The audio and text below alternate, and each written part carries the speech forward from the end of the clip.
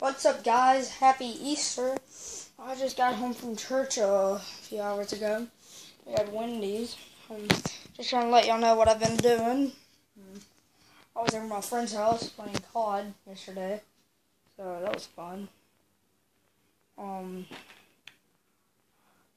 uh, put in the comments how your Easter was, if you want to. Um, and leave a like if you enjoyed and subscribe for more. Bye.